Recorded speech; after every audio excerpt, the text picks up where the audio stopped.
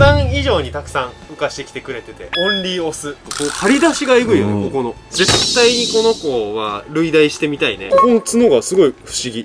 これはでも私服ですね。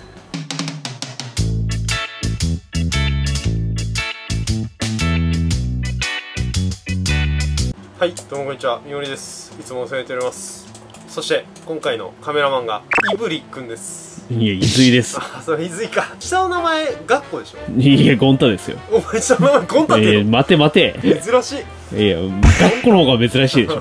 確かにいぶり学校じゃないですか。ああそうかいぶりがっこじゃないのか美味しいけど。あーいやいいよそこのそこにわきまえなくても下の名前が珍しいっていう印象あったからそう俺がっこだと思って まあそうどっちも珍しいけど、いぶりと学校だったら。なるほどね。学校があってのいぶりね。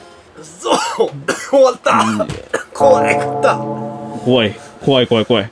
大丈夫ですか？最後これだけ言わしてくれ 何？これだけ言わせてくれ？追いだきは入る前にした方がいいうーん、そらそうだろ。いやー終わっちゃったあ、まだいる。いやあのい生きてたことをいるって言わないでよ 一緒に全然作ってこあーやっぱこの、あ、あれあれあれあれあれあれ。う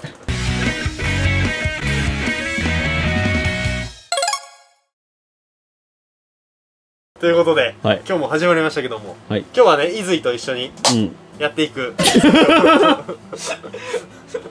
鋼の錬金術師。いやいやここうやってないからまあ確かに普段とねちょっと違う感じの下でね確かにちょっと六芒星感もあるかもしれないけどいやいや、めちゃくちゃ四角だろ。これ、まあちょっとしたテーブルみたいな雰囲気にしてるというああ、かなるほどね。ここで。うん、って感じになってるんですが、はいうんまあ、ここでやる作業だから、うん普段みたいに土を扱うことはないおお。けどもこれはね贅沢おだからカルピスの原液をうん。そのまま飲んでるいや、それ贅沢な。あ、喉乾くだろ。極みだから胃袋の中で薄める。ああ、いやいやいや。原液飲んで水飲んで。うまいのかな？それ。ここで薄める。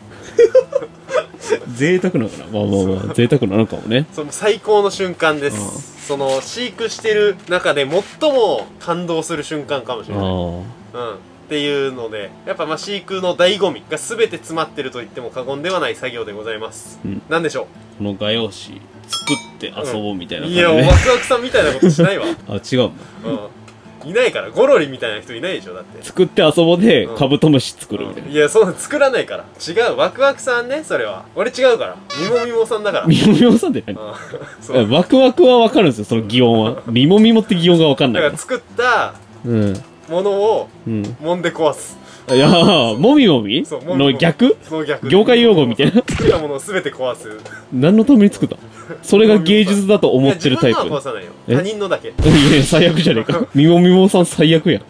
あでも画用紙を気にかけたのはいい着眼点かもしれない。まあ、これ置いてあったら気になりますよね。そう。まあこれがある時ってうんいうのは結構決まってる部分はあるんですが、何ですか？今回孵化したヘラクレスオオカブトを計測します。おー。はい。これね。はい。ヘラクレスのオスが普段以上にたくさん孵化してきてくれててタイミング的に。ちょっと動画撮るここの撮影っていうのができるタイミングがなかったからうん。結構ヘラクレス孵化してる子っていうのが人工衛室にいる状態で、うん。その子たちを、まあ、無事に孵化してるかを確認しつつ計測していくって感じになるんでほう。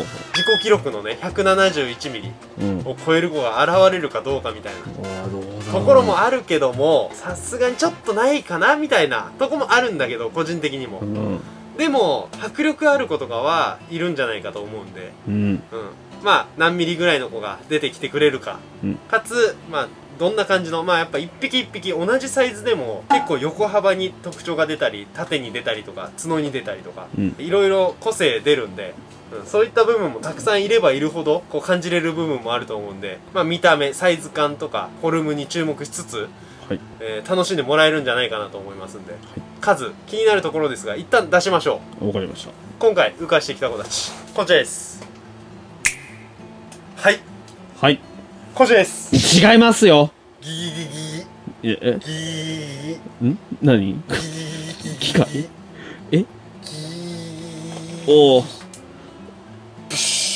だーダメだ。残念。しかも全然惜しくね。これね。はい。合計4段。うん。えー、11匹おー、すげえいる。かな？うん。オスのみなんだ。そう。オスのみ。だから土使わねえんだ。そうオンリーオス。人工養殖で浮かしてきた子たち。はい。感じになるんで。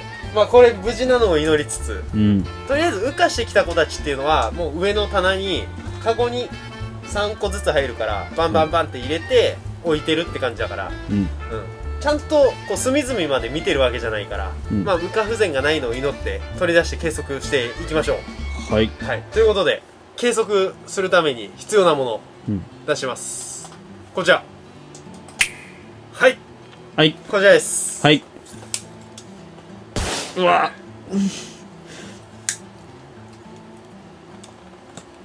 え？笑いは一撃で仕留めたみたいな。いやいや、そはってなだったぞ。ごめんこれね。これがデジタルノギスこれではい。測っていきますんで、うん。じゃあ早速1匹ずつ。まあカゴ順でカゴの体重軽い順でいきましょうか、あ、だからカゴごとにね。うんカゴ自体はもう不動で。うん。だからどどのタイミングで一番でかい子が出てくるか。はいはい。っていうのも分かんない状態になりますんで、じゃあ早速いきましょはい。うまず1匹目。おこれ元気そうだね、お。うえーまず1匹目がおこれ赤目です。お。う赤目と赤目の子だから確実に目が赤い子。なる。ほカブトムシで言うと、まあ、アルビノみたいな感じですね、うん。うん。で最終体重が 109g、ど。9。うん、だからちょっと小ぶりかな、うん。って感じではありますが。さあどうでしょうか？いきます。こちら。はい。お。おおお赤いね。だいぶ赤い。ちゃんと赤いですね。うん。サイズ感はそんな大きくはなさそうかな。角短いねうん。うんで、うん、角のここがすごいいびつな感じでガクガクしてる感じになってるかな。あでもかっこいいわ。赤目がすごい綺麗な赤目だそうですね。すごいもうすぐ見てわかるぐらい綺麗な赤目。かうん。っこいいわ。素晴らしいです。さあちょっと出してみよう。かはい、まあまあまあ。ぼちぼちって感じかな。まっすぐだね。な。はい。サイズはどうだろう？角は意外とそんなに長くはないかな。体と角が半々ぐらい。やっぱ角長いなって感じる子って体と角の割合がなんか3対2ぐらいの感じ。になるから6割ぐらいが角の感じになるからそこで言うと55ぐらいのイメージ、さあでもやっぱこう赤い目の感じは俺らとかは虫キング世代だからアダーコレクションって言われて、はいはい。その悪役が使うクワガタカブトムシってなんかね赤い液体に入れてアニメの世界だあとー。で上がってきたら凶暴化してるみたいなので目が赤くなってるんだけど。そうそのイメージがあるからやっぱ邪悪感があるんだよねまあそうですね。さあサイズサイズはちょっと手に乗せてになるんで手痛いんで素手だと。皆さん測る時とかなんか厚手のゴム手袋とかがおすすめです、はい。僕はこのキッチンペーパーでやってるんですけどそうキッチンペーパーとかなんかかました方がいいですね。やっぱマジで強いから爪もうほんと針みたいな釣り針みたいな感じなんで返しがないだけみたいな、本当皆さん気をつけてくださうん、そう気をつけてサイズ。お来ました。い。はい。結果138おーちょ小数点言い忘れたわ、はい。うん、もう一回言っていい？わかりました。138ごめん。138.7です。はい。はい。はい。そう一瞬なんだと思った？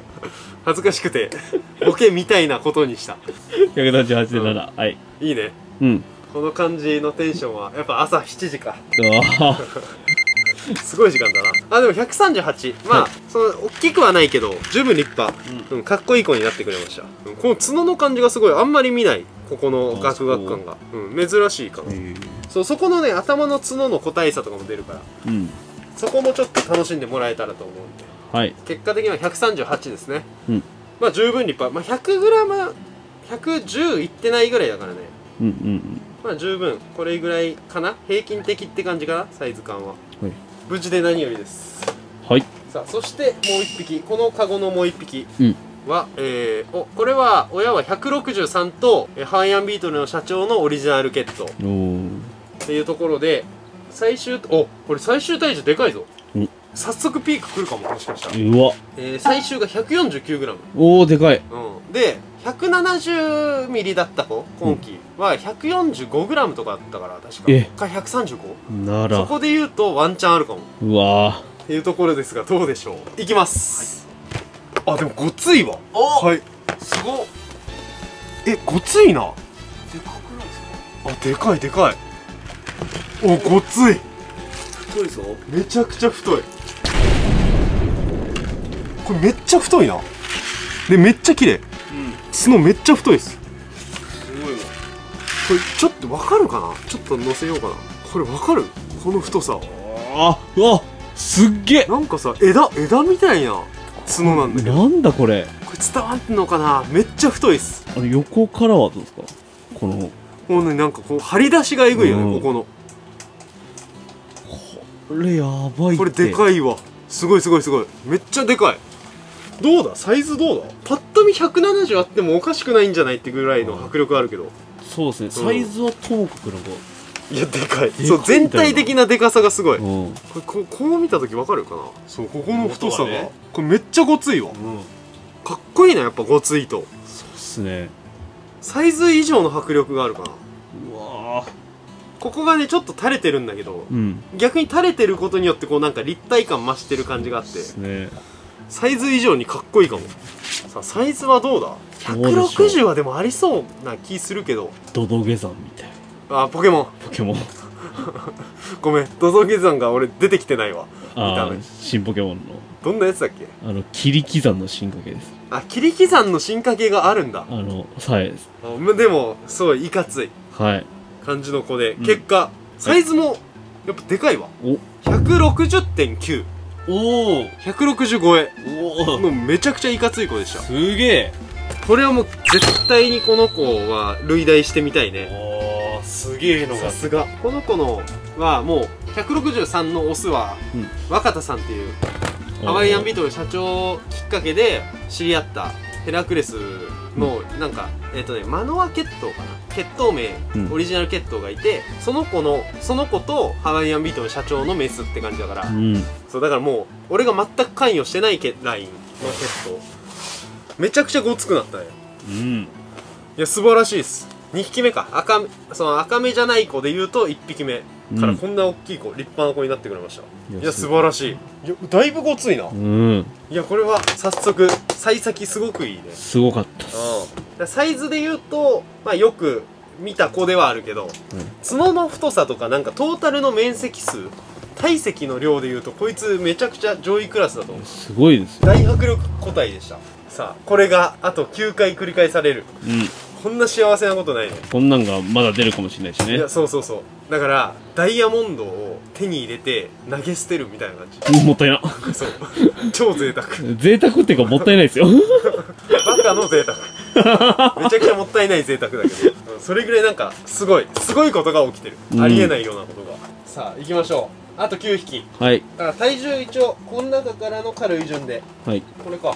これがあこれ赤目ですね。お赤目同士だから赤目になります、うん。一応2021年の11月頃孵化だからまあ一応ヘラクレスのオスの平均の幼虫期間っていうのが1年半ぐらいなんで、うん。これ1年5ヶ月かな？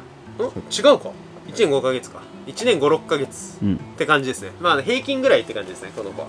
はい。で最終体重 108g、うん。だからちょっと軽め。さっきの子に比べたら 40g 違うからね。3分の1違うって考えるとやっぱだいぶ差はあるけど 100g 前半あればまあ140ぐらいいってくれてたら嬉しいかなって感じかな、はい。108mg だ g だと。さあ無事であればですがいきます。こちらです。はい、おなんか角太いな。お太いね。なんかあちょっとここボコボコしてるけど。角が太いな。ちょっと多分ねさなぎの時頭が倒れてた影響でここずっとクロスしてるんだけど。なるほどね。うん、まあでも綺麗に羽化してきてくれたね、角太いね。ここそうですね。うん。こう見ても太い。サイズ感はちっちゃいけどなんかギュッとしたちょっとマッチョ体型な子になったね。いやこんな子も出てくるからな、そう同じ赤目でもこういう子が出てくるとこの子もちょっと類題してみたいってなっちゃうからね。うん。もう切りないんだけどね。うん。そこの境目が。確かにな。いやでもだいぶかっこいい。サイズ以上にこう太さのかっこよさが出てる子だね、はいそのさっきの160の子と一緒で。うん。さあそんな中100 100g で何ミリか。だから120ミリ台かもしれないもしかしたら。うん。はい来ました。はい。お結果えー、132.2はいおおうん。見えるかなこれ。あ見えますね。見える。あーえー、まあ僕の口頭で言った言葉を信じてください、まあはい。ひとまず。そうそう130前半はい。がやっぱ1匹目の赤目の子より6ミリち,、ちっちゃい。体重一緒だけど、でもその分やっぱこう体にいったね。体っていうかこう幅、うん。角の太さとか。これはこれでやっぱかっこいいね。そうですね。うん。角が太い赤目みたいなのもやっぱ出てきたら嬉しいね。うん今後が膨らむ子です。それこそいかついな。それもいかついね。う今さなぎでね角が太い子とかが出始めてるけどこいつもこいつでかっこいいですね。立派な子。頭の角がすごい太い子になりましたね。はい。うん。おお本当だ。全体的に太い子。ひとまず無事で綺麗でよかったです。はい。さあそして次ここからぐんと上がって、えー 131g おおで2021年の8月だから1年と8ヶ月か。はい。だから平均ちょい長めって感じかな、うん。はい、さあいきます。どうでしょうか？160近くいる子もいる。お。はい。どうだ？あでかいね。そう。1匹目があの160のやつがごつすぎたからめっちゃ細く見えるな。ああ確かおでも綺麗。いにはい。やでもでかいね。うん。でうちの血統はい。は角が太くなるっていうよりかは縦にスラッと伸びるタイプだから、そこで言うともうその血統の、まあ、血をちゃんと引いてる感じかな。スラッとして綺麗、うん。めっちゃ綺麗だね。パーンと伸びてね、うん。どうだ。でも100 130あれば160いく子もいるけど、うん。平均で言うと150後半のイメージ。うん。ただやっぱ長い。でかいね、そうっすね、うん。長さがあるわ。やっぱ血統でこうも変わるかっていうぐらいフォルム違うね。中にはちょっと角太めなことも出るんだけどはい。やっぱ安定して角細い。うちのやつは、さあサイズはどうでしょう？という結果出ました、うん。えー、156.2、おお、うん、160はいかずだけど、うん。十分でかい。十分でかい、うん、ちょっと4年前の僕のチャンネルのヘラクレスウカ動画とか見てほしい、確かにあの時140とか、うん、156とかいたらうん。もうテンション爆上がりで何本かに1回ぐらい裸になったりしちゃってるんですけど、いや でもだいぶ立派。156ミリ、すごかった、これぞヘラクレスみたいなスラッとした感じの子になってくれました。素晴らしい。体重130いった子の中ではちょっとちっちゃい方だったかもしれない。うん。でもそれも血統によったりするねやっぱね。あ体重の割に大きくなる率が高い子と体重の割にこうサイズはそんなないけど幅横幅とか角が太くなる子とかいるから、はい、さあそして次、えーこれも2021年の8月。同じですねタイミング、はい。で最終体重がさ 136g だからうん。5g 重いさっきの子より、おおっていうところで、まあ、130後半あれば160近くなってくれる子が多いうん。から、まあ、160いってるかどうかですが、すげえな、うん。そんな子さあばっかじどうでしょう？こちらです。あ角が。角が曲がってる子ですね。なるほどねあでもこんぐらいの子は全然かっこいいな。おおあでも実際でかそうだね。うん。うん150さっきの子ぐらいはありそう。そうもうほぼ、すごいな。なんかうん、ET 寸前じゃんもう。確かに。一人うん。一人 ET は寂しすぎるな。なんか迷ってるやつみたいですもんね。どうどうしよう。か すごいな。おわわみたいになってる。ねこれはこれでねかっこいいんだけどね普通に。ちょっと垂れてる子。釣りしたくなるな確かにこれ 釣りしてるみたいな、うん。大物釣ってる時の釣り竿。のサイズはねちょっとな1センチぐらいはうんいやちっちゃくなっちゃうけど、150近くはあったんじゃないかな。150中盤ぐらいは、まあざっくりですが。はい。結果。あ141.8あそれでも？それでもそんな140超えてるから。やっぱでかいね。うんだからまあ1センチは軽く垂れてるからまあ155ぐらいあったかもね。ううん。んいやだいぶ立派です。ですごい健康的な子になってくれた。いや素晴らしい。いいね。お見事です、はい。さあこれで2カゴ目終了。はい。さあもう折り返しか。おお早いもんで、うん。はい、まず1匹目、これが2021年の6月負荷だかはいら1年10ヶ月か。結構なかかったね、うん。ヘラクレスの中では。で最終体重が 121g うん。でこれも今パッと見えたけど角曲がってる子かも。おおしんない、まあ、無事であればですね。さあ行きます。どうでしょうか？はい。どうだ？大丈夫か？ああよかったよかった。生きてます。角も確かにそう角も。真っ赤になってますね。輪っかになってる。完全輪っか。あ羽が出ちゃってるな。あ本当。だ不完全だ。だいぶ 120g の中ではだいぶ小ぶりな感じになってるね。うん。羽出ちゃってるからちょっとね心配ではあるけど今んとこ元気そうではあるかな。すごいな。なんか思ったよりもすごい曲がってるんです曲がり方がうねってるね地面についちゃった。うん。スパイラルになってる。ちょっと本当は見えないんだけどこう見た時ですね。こうこうやってこっち側だとなんか螺旋状みたいな。ブラシの先が見えます。ああそうね。そうまあでも無事でよかったなとりあえず。そうだいぶ小ぶりになったね。体重の割には。サイズ感ちょっと測れないからこれは。うん。あれだけども。ひとまず元気そうでよかったです、うん。まあ、羽化不全の子にはなりましたがうん。そう生きてくれりゃいいんだから。うん。すごいんだから生きてれば。いやそう生きてたらもう勝ちよ、さあそして次はいきます。これがお赤目と黒目の子の血統、だから赤目の遺伝子を持つ子って感じですね、うん。これ最終体重136おー。結構でかい、でかい、うん、赤目系の中では結構重くなった方かな、さあどうでしょう。いきます。こちら。はいお太いんじゃない？角角太くない？太そうです。そうだ？おおごついごついな。おおおはいはいはい。ごつごつい。体でかいな。うん。角も太いね。その通常より。そうですね。うん。ちょっと角は下へ向いてはいるけどだから角って感じよりも体とかにいったって感じかな、体重の割にサイズ感は伸びてはないけどだいぶごついはい。こう見た時やっぱごついな。横の角の厚みもやっぱあるね。い。やだいぶかっこいいわ。いい感じです。熱い。うん。さサイズは130あったら150中盤とかあるけど、こいつは140ミリ台じゃないかな、うん。はい来ました。結果お144.1、はい。うん、144.1体重の割にはサイズには出なかったって。感じその分体がごつい。体つきがごつい子になりました。次この子の兄弟と掛け合わせたら25%の確率で表に赤が出る。うん。赤い目が。そうだからそのタイミングで羽化してくる子供のフォルムとかは楽しみだねやっぱ2周2周したらまたそのお父さんお父さんっていうかおじいちゃんおばあちゃん世代のなんか特徴とか出てきたりとかするらしいから、うん。うんそこも楽しみだね。で立派。ごつい子になりました。はい。そして、えーこのカゴラスト。うん。137はい。で2021年8月頃か、うん。です。さあどうでしょう？いできます。よおどうだ？はいこちら。お元気そう。あこれ角え？これあれ？これ角折れてないか？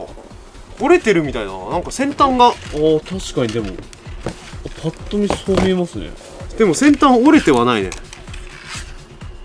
折れてないわ。あのなんかうん。割れ目があるんですもんね。そうそうそう。あれが実はちっちゃい先端の尖りがあるんだけどそれが緩い感じになってる。ねこう見たら割れてるとここ空洞になってたりするんだけどかさぶたみたいな。そうもなってないから単純にそういうちょっと個体変化だね。へえ。うん一瞬割れてるように見えた。確かにそうですね。いやでかいなてか。うん。ごついちょっとごついかな。このタイプの血統の中では結構ごつい方だね。うん。角も太い。ここの角がすごい不思議。そうですね。うんでもサイズは150中盤ぐらいかな、あでもやっぱ太いね。おおあでもでかいか。これ160ぐらいある？えー、なんかあんのかな？ああっても不思議じゃないな。あっても不思議うん。じゃないねこれ。だいぶでかい気はする。角長いね思ったより。さあどうだ？今んとこ今日で言うと160 160.9がマックスか。うん。はい来ました。おちょっとびっくりした俺、お。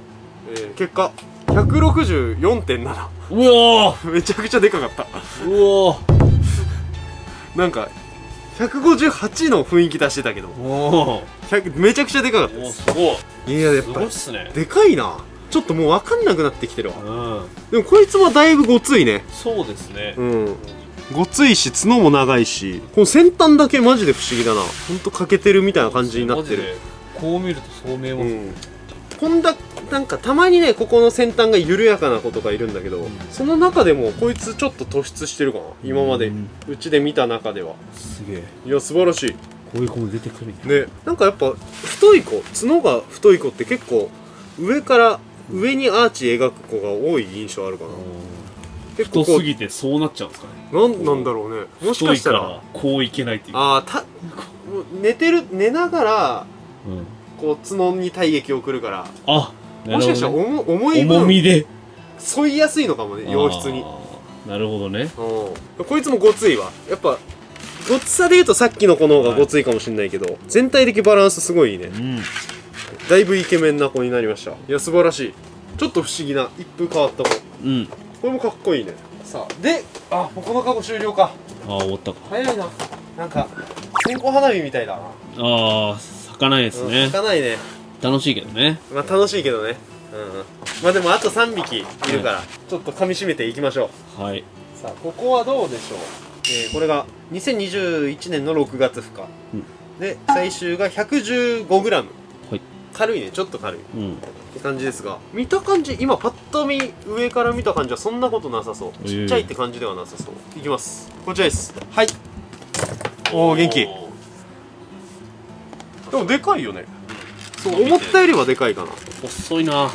細いね細いな。さっきの子の後だいぶ細いな。ああちょっと羽出てるな。ちょっと羽が出ちゃった子だね。でも細いねマジで。なんか昔ながらのヘラクレスって感じ。まっすぐだね。細いっていう鉛筆。細い。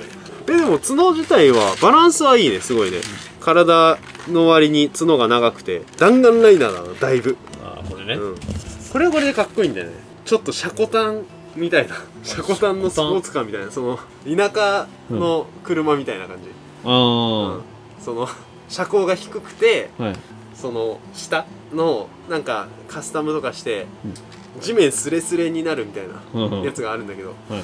うん。まあめちゃくちゃ伝わって今腹抱えていやいやいやいやめちゃめちゃ今、それ、分かろうとしてたの。途中ですよ。あでもまあ言ったらフェラーリみたい。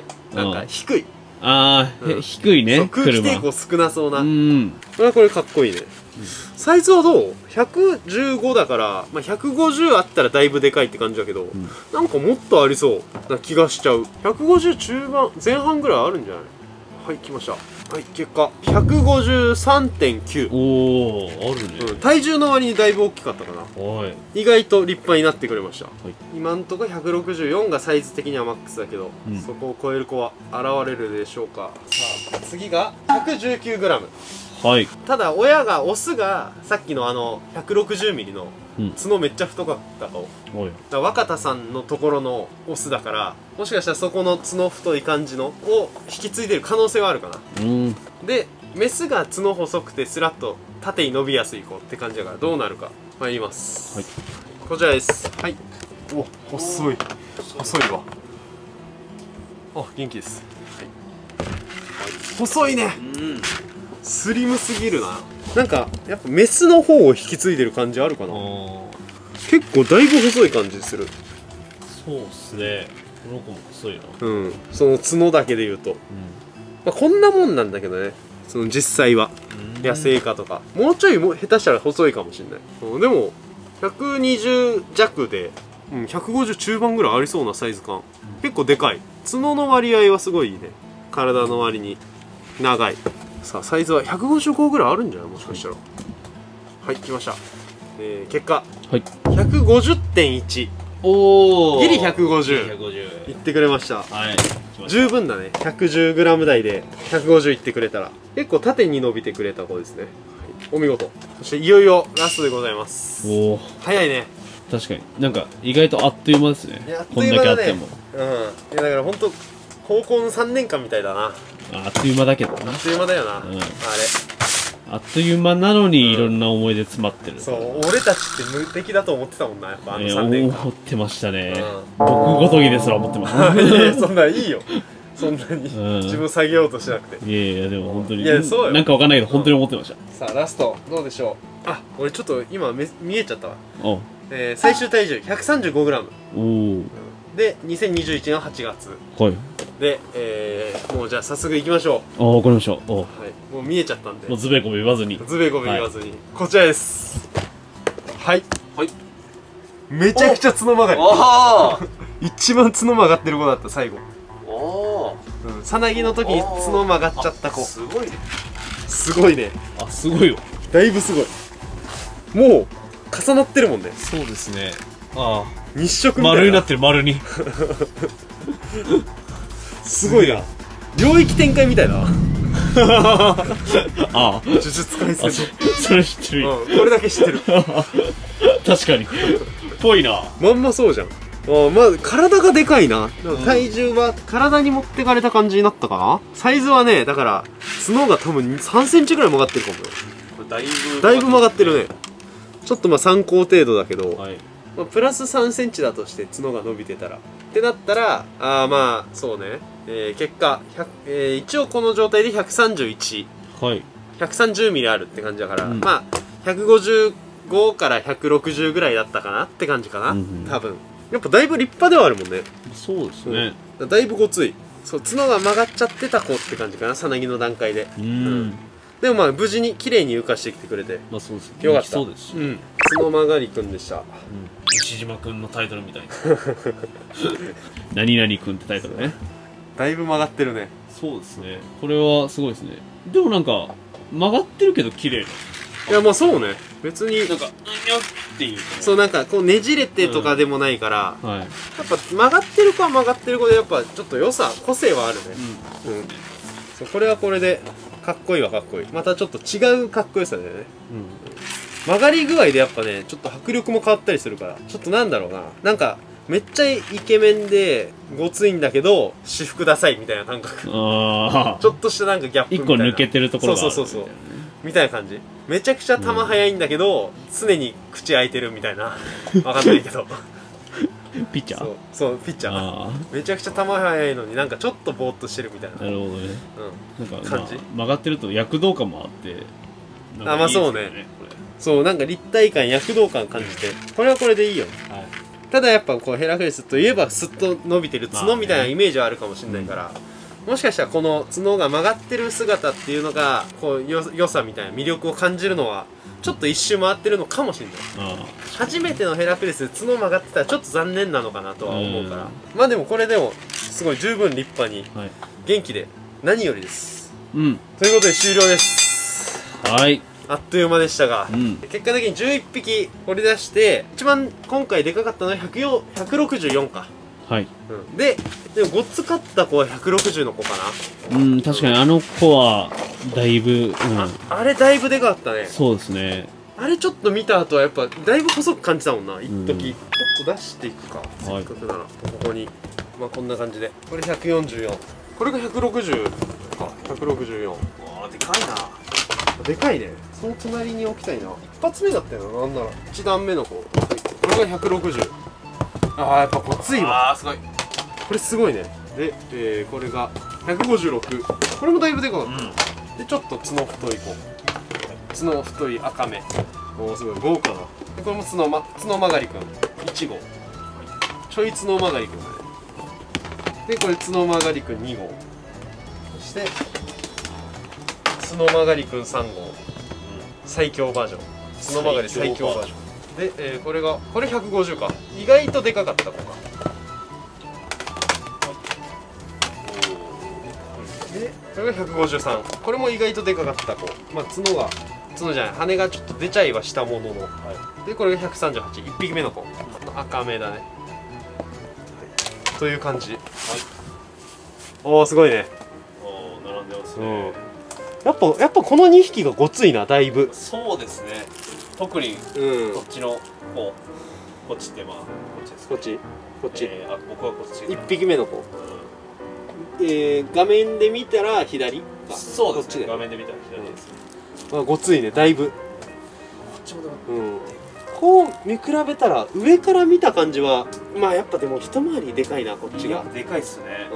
こっちもまあ太いは太いけど、こんな変わるからね。上から見ただけでこんな変わるから。で頭の角とか比べるともっと変わったりするからね。やっぱこれはもうこれはでも私服ですね。はい。うん、やっぱこいつが衝撃だったかな。これは楽しみだね今後も。こういう特徴のまま今後も売り台続けられたら最高だねまあ、この子たち。とひとまず終了にはなるんですけども、はい。まあ、まず無事に羽化してきてくれて何よりっていうのと、まあ、ちょっと羽が開いちゃったりした子はいたけども、うん。角曲がってたりとか。あったけど、まあ、その中でもまあインパクトある子も何匹もいて。はい。で普段見ないようなこの先端がない子。その欠けてるわけじゃなしに消失してる子。もうこれとか分かりやすいんだけどこんな感じで。本当カニの身をほぐすああそうフォークみたいな感じで若干こうあるんですよ。これがないっていうのはねないっていうかなんか緩いというかね。若干あるけどそう若干あるけどみたいな。うん。っていうのはねなんか結構極太系のうん。ヘラクレスとかはこういう子がいたりするんだけど、はいはい。なんかそっちに近しい感じのうん。なり方消失の仕方になってるのよ。初めて見た子うん。しかもでかいしまだまだこう知らない個体差みたいなのが発見できてよかったです、はい。で、まあ、今後、まあ、この子なこの子たちの中から親として類題できない子は、まあ、またランバーだったりいろんな場所のどこかに、えー出させてもらったりする可能性もあるんで、うん。うんぜひ、まあ、ランバージャックムッシャクワカブプラネット月夜のキノコ園あたりかな今だと、うん。を気にかけてもらえたら嬉しいです。はい。はい。そんな感じなんですけどどうでした？伊豆はいやーヘラクレス三昧でね、うん。その最初に出てきたやつがすごいめちゃくちゃかっこいいなと思って。ああそうね。160の子、そうですねこのこいつかうん。まあでも後から出てくる子もねやっぱ、うん。そのいろんな形のヘラクレスそうねりして。角細くてもかっこいいしね、うん。そうですね、うん。曲がってもかっこいいし。曲がっててもかっこいいし。赤目でかっこいいし、うん、やっぱ小さくてもねどんな形でもヘラクレスはすげえなと思いましたね。結局ね、うん。うん、やっぱヘラクレスのポテンシャルの高さはやっぱ感じるね、そうっすね。うん、まあでもその伊豆もいろんな個体差の部分でその一匹一匹こう魅力を感じてくれて、うん。えー個人的にも良かったです、はい。はい、でまあ結果的に言うと170そのサイズ的な自己記録うん。を超えることはできなかったんで、うん。まあ、今後今幼虫の子だったりそうだから前回の幼虫のマット交換土餌交換のやつも見てほしいんですけど信じられないぐらい大きいことが出てきてるんでうんそういった部分も含めて今後羽化してくる子も楽しみなんで、うん、ぜひ、まあ、ヘラクレス大好きな方とかいたら引き続き気にかけてもらえたら嬉しいですし今までもヘラクレスの動画いっぱい上げてるんで再生リストのヘラクレスオオカブトのとこから過去動画も見てもらえたら嬉しいです。はい。そんな感じで、えー今回の動画は以上になるんですけども、えー概要欄に僕が去年出させてもらった飼育本も販売されてましてそれのリンク貼ってるんでそれもよかったら飛んでチェックしてみてください。ご視聴ありがとうございました you